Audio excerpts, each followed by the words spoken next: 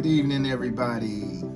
Hey, hey, hey. How is the most powerful, the most loving, the most engaging, the most self sacrificing couples on the planet this evening? Known as the ILM family. How y'all Hey, doing hey, hey. this evening? Welcome aboard for another episode of what? Marriage Monday. Amen. Well, again, I want to get into the challenge that I gave last week. Tell me, did you do the challenge? I gave you a competitive challenge last week, and the challenge was who amongst the two of you could be more, semicolon, loving? Who amongst both of you can be more patient for this seven days? And here we are, seven days later, and the questions that who won? Who won? Which one of you won? Did the husband win? Did the wife win? Was it a tie? Did you just work so hard to take each other's crap and take each other's anger and take each other's frustration? I tell you what, me and her just did it right before we get on the thing with you. So that's how real it is. We just got into it right before we're with you today. So, but here's the deal we are within our challenge. Now, it just so happens that we're not doing it for a challenge per se. This is the way we practice our relationship. We work on it every second of the day because marriage is hard work. You follow me? Because it's a divine institution created by Come on, God, Pastor. whereby two rational free moral agents. Now, a little bit about that. Rational free moral agents. That means you know what you're doing. Mm-hmm. Now, here's the deal. What I'm about to say next, when you correlate that with rational, it's going to be amazing. Here it is. Two rational free moral agents choose to enter into a covenant relationship with an almighty God. Now, here's the part that's rational to stay with an imperfect person. You have to know what you're doing and choose to stay with an imperfect person. And you have to be rational about it. You wasn't drinking when you made the decision. You wasn't smoking when you made the decision. You wasn't on prescription medicine when you were making the decision. You were clear-minded when you said, I do.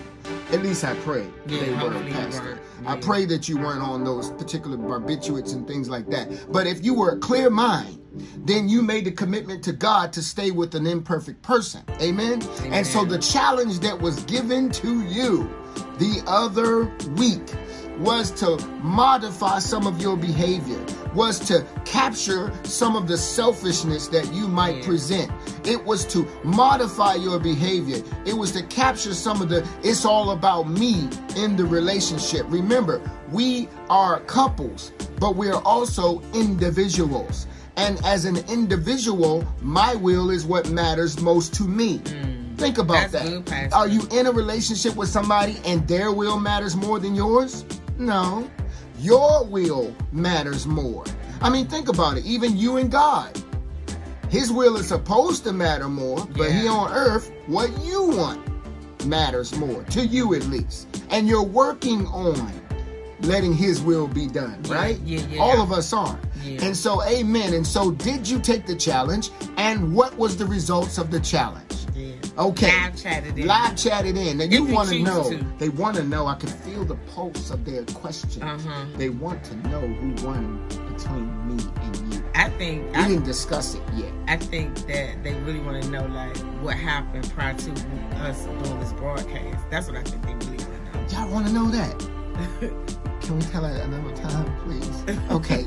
you really want to know? All right. Well, here's the deal.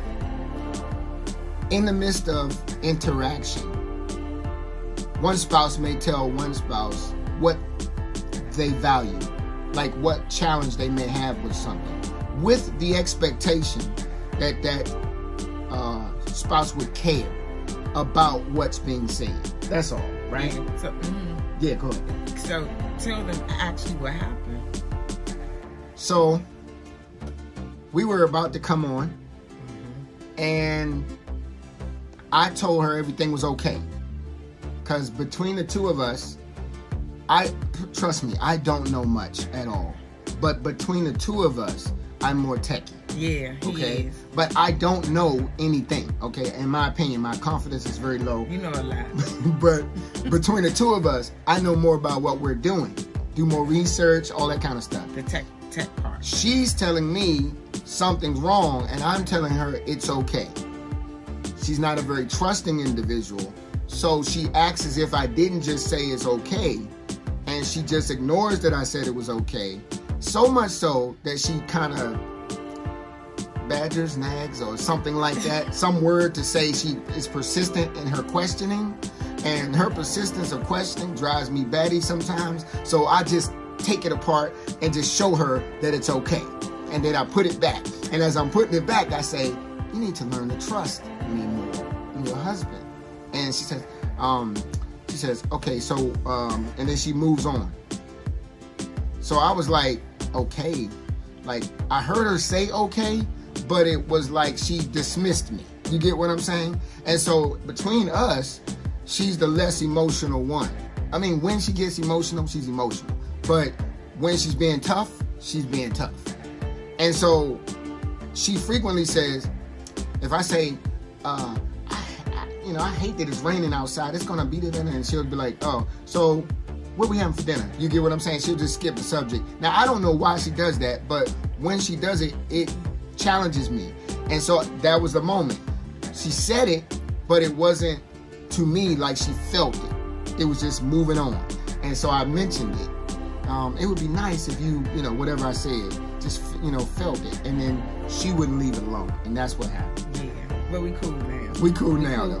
we cool. We cooking good. So the thing, But the- yeah. So the thing about it, um, but the techie part was I didn't feel like the camera was aimed correctly. So that's it, right? So petty when you really think about it. Yeah, it be petty stuff. That's just good. it be petty stuff. Anyway, you may have something going on. The reason why we were transparent about our moment is so that you could identify maybe some pettiness in your moments. Okay, that was petty. It wasn't about bills. It wasn't about leaving the toilet seat up or down. That's petty too. You follow me? But it wasn't about some of the characteristics in a relationship that we tend to argue about. Mm-hmm. It wasn't external affairs or nothing like that. It was just the position of a camper and who thought it was okay and who didn't. And that's the kind of stuff that you might be arguing about here and there. If you are, I challenge you who's going to love the most? You follow me? Who's going to put forth patience the most in that area? Mm-hmm. Because if you try to implore patience and love in those situations like that, you'll come out of it. Literally, you'll come out of the situation. You won't be holding grudges. You won't be angry all the time and pinked up and bitter against each other. You'll learn to love each other through you being human. Amen. So, you want to answer the question? How'd you do? Amen. Well, we're going to read your live chats and we're going to read your comments down below and we're going to engage with you probably on next week on that. And so we appreciate your candidness and explaining to us where you were this week. Amen. Amen. Thank you, Pastor Kofi. You're welcome. Um, I also want to say to those who are single who are watching this broadcast, because I remember Marcus, who's also a part of ILM, how he said that he wasn't married, but that he was going to still apply the challenge. I think what was really good about that is that when we learn to practice things in our singleness, that if we are wives, if we husband, we decide to get married, then it helps us in the marriage and build another relationship. So here is um the challenge when Marcus put it out there that I thought was good um, for those that are single. That if you're not married, the question is, did you apply it to your uh, mentor, to a mentee, to a parent, parent-child relationship? Because I think uh, oftentimes what happens is those who are in positions of authority don't always take the time to apply patience with the mentee or with the one that they have authority over. It's it's just like Pastor said that um, I want my will done, but we have to learn to be patient with each other to Yes. show more love that the, that the love of Christ will manifest in all relationships. But here's the thing, when and I love when you said about God's will because when I really think about that, it's true.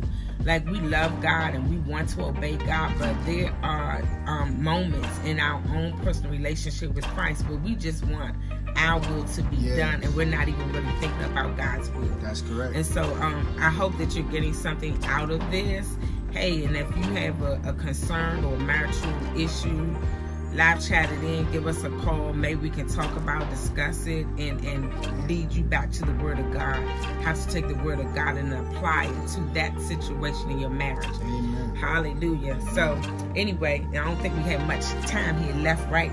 Um, you all, uh, for this broadcast, but we're gonna um go into a little bit because the recap was was necessary about the challenge. That's important.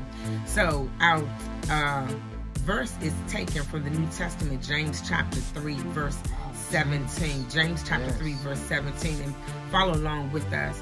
And it reads, But the wisdom that is from above is first pure, Yes, then peaceable, gentle, willing to yield, full of mercy and good fruits, without partiality and without hypocrisy. Mm. And if you listen to the message on Sunday, we use the word hypocrisy there, right? And what is hypocrisy is defined as a individual who has a pretense of being righteous, but really they aren't. Okay, that's just a short definition of it. So when we look at our marriages, who would you say is the one that is the most difficult one in your marriage? Who would you say, Pastor? With you and I? it looked like he's telling y'all with his eyes. Okay, I'll tell you who's the most difficult one. It's not Pastor Kofi. It's Pastor Shelley.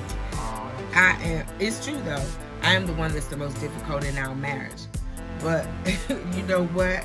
I'm growing. I'm Yes, learning to admit my faults, and I'm learning to take the principles of God's word and to apply it to my marriage. And one of the things that we can learn is that thank you that God's wisdom really teaches us. It teaches me how to be my best in my marriage. Amen. So listen to the scripture again, James chapter 3, verse 17. But the wisdom that is from above is first pure, Mhm. then peaceable. Listen to these words gentle, Hmm. willing to yield, full of mercy and good fruits, without partiality and without hypocrisy. Mm. Now, when you look at that verse, there are about eight godly attributes in this verse. Have you ever looked at that verse like that? If we would really focus on one at a time and then use them together collectively by applying them to our marriage, Mhm. you will be surprised of the results that you will get. For one, when I begin to apply the yielding to my husband and allowing him to be the head of our household, Mhm. instead of me overexerting my will, I make an effort to be gentle with my words. Like that's that's a big one for me. Like a lot of times my tone can be really, really harsh. Instead of being harsh in my tone, I'm giving it to you straight, right? No chaser, right? You can laugh. I'm I'm learning and I'm growing. I'm leaning in the area of not picking at his faults, and instead I start confessing my own fault, faults. What? What? so I say that to say that. So I think for the challenge that we did last week, I, to be honest, I didn't really focus on Pastor Kofi what his faults were, what his wrongdoings, because if I'm transparent, which I'm going to be, he is really, really a patient, patient individual. He is really, really loving. I'm loving too, and I'm patient in areas, but at a point in my transparency, my patience patience can grow very um it, it, it, it diminishes. Especially if I like, hey, keep saying something over and over and over again. But if I take it my eyes off of him and if I put my eyes on Christ and who I am and what I'm not yet to be right, but I'm going to be, I'm in need of the patience. And so I think it just uh, uh, allows for an opportunity for me to learn to, to apply the patience in my marriage. Because I do, I appreciate that Pastor Kofi, that my husband is patient with me. Okay? Amen. Hey, hey, anything you want to add to that, Pastor? Just grateful. Would? Okay, me too. Grateful for the growth. Yeah. In both of us. Yeah, hallelujah, hallelujah, hallelujah, hallelujah, hallelujah to Jesus, right? Okay.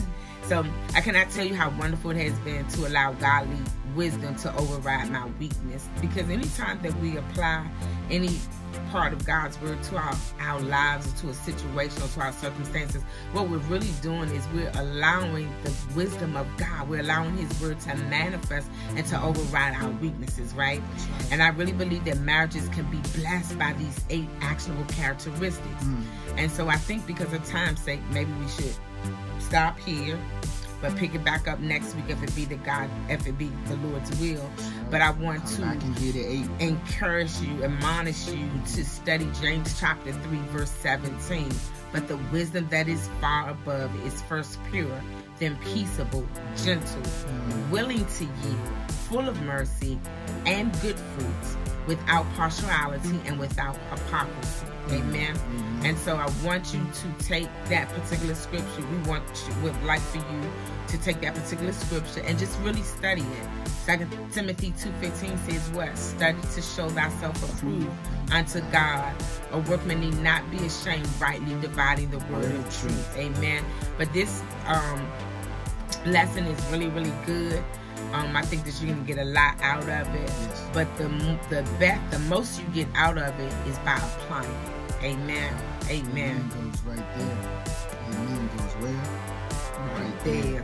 Hey, listen, I heard in her plea to you just now out of James 3:17, I also heard the fruits of the spirit, spirit found in Galatians. Yeah, yeah. Gentle, you know, peace, love. All those things, uh, you must show them not to just everybody else, but show them to your spouse. Yeah, yeah. I think one That's of the things person. that relationships are guilty of in terms of a challenge in the relationship mm-hmm. is we tend to treat people external to our relationship better than we treat each mm-hmm. other. Mm-hmm. You seem to be more patient with other people than with your spouse. Yeah.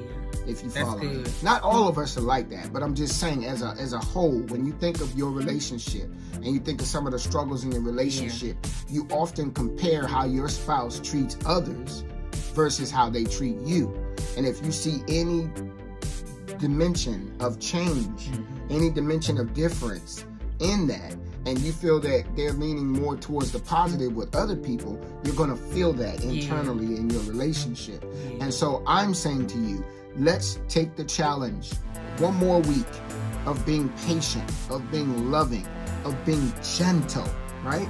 Of being willing to yield. Yeah, Amen. Yeah, that's right. Uh, show the fruits of the Spirit towards your spouse. Yeah. And don't live within hypocrisy, meaning externally showing something in a fake way, but it's not really that. Don't do that. Amen. Give it to them raw. Give it to them real, but give it to them in love. Yes. Show your spouse that you love them in spite of their faults. Yeah. I'm going to say that one again. Yeah. Show your spouse that you love them in spite of their faults.